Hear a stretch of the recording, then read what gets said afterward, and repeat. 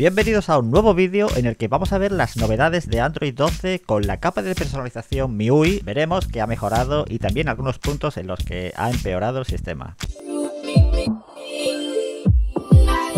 Los que me seguís en el canal ya sabréis que la versión de MIUI que suelo usar en mis teléfonos es la ROM de Xiaomi.eu. Esta ROM está basada en la ROM china y no la versión global que es la que seguramente tienes instalada al estar basada en la ROM china puedo tener las actualizaciones mucho antes que si tuviera la versión global, por lo que en este Mi 11 ya tengo Android 12 que forma parte de las actualizaciones beta de Xiaomi.eu. Esta versión no tiene nada que ver con la versión MyPilot, que es el programa para desarrolladores de MIUI, esa versión tenía reinicios y era casi imposible de usar, en cambio esta primera versión de Xiaomi.eu los defectos que podemos encontrar son menos importantes. Un fallo por ejemplo si eres de enviar mensajes SMS la aplicación que viene por defecto se congela y es imposible de usar.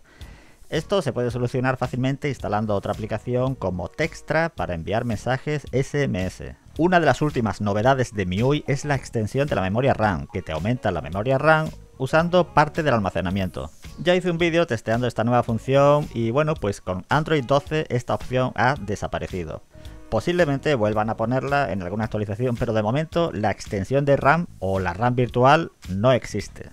La batería he notado que consume un poco más que con la versión anterior de Android 11. Sobre todo se nota cuando dejas el teléfono en reposo, encendido pero sin usar, que gasta más. De todas formas, al ser la primera versión de Android 12, estos problemas puede que lo arreglen en futuras actualizaciones. Puntos positivos que he visto es una mayor fluidez, es como si hubieran acelerado las animaciones para abrir las ventanas más rápidamente. Hay un nuevo modo alto rendimiento sobre el que no he encontrado mucha información por Google y para ver qué es lo que cambia en este modo he mirado con la aplicación CPU-Z si el procesador aumenta la frecuencia de los núcleos, por ejemplo cuando está en reposo, o si hace overclock aumentando la máxima frecuencia, pero todo se mantiene igual entre 300 MHz de mínima y 2,84 GHz de máxima. Por lo que hice una prueba cronometrando el inicio de algunas aplicaciones, por ejemplo el juego Call of Duty, sin este modo alto rendimiento, y luego abriendo Call of Duty también con este modo activo. Y después de varias pruebas, mi conclusión es que tarda prácticamente lo mismo o quizás un poco menos en abrir las aplicaciones en modo alto rendimiento. Con Android 12, al abrir la cámara te avisa con un icono qué permisos tiene la aplicación cámara. Este aviso no solamente te lo muestra con la aplicación de cámara nativa de MIUI, sino que también ocurre en cualquier aplicación de cámara que instales.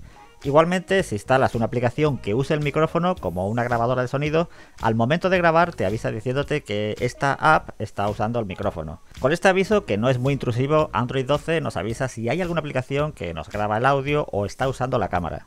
A nivel estético, de momento está todo prácticamente igual a la última versión de Android 11. Por ejemplo, en la cortina de notificaciones ahora aparece un acceso al reproductor de música, el huevo de Pascua de Android 12 es un reloj que al poner la hora a las 12 te aparece el logo de Android 12. En los widgets tenemos un acceso a una paleta de colores, no sé muy bien qué sentido tiene. Y también tenemos un widget en el que supuestamente se mostrarán las conversaciones recientes. Si te decides a instalar esta versión de Xiaomi.eu y partes de una versión anterior de Xiaomi.eu, no podrás instalar vía OTA, es decir, que no podremos instalar directamente desde el actualizador del propio teléfono, sino que tendremos que descargarla a un PC, descomprimir la ROM y conectando el teléfono por Fastboot, elegimos este archivo .bat si es una actualización o este otro que te borra lo que tengas en el teléfono en el caso que la versión de Android que tienes instalada no sea una versión beta de Xiaomi.eu. Dejaré un enlace donde explico todo el proceso más detenidamente. Lo de actualizar a través del PC suele ocurrir porque no hay un recovery aún para Android 12 para este teléfono. Normalmente en un mes o dos meses o así suelen lanzar un recovery TVRP para este modelo en concreto que aún no tiene. Si no sabes si tu Xiaomi actualizará, tenéis un vídeo donde explico cómo saber si tu teléfono Xiaomi puede actualizar a Android 12 o MIUI 13 que está al llegar. Bueno, comparte, pulsa like, me despido, hasta el próximo vídeo.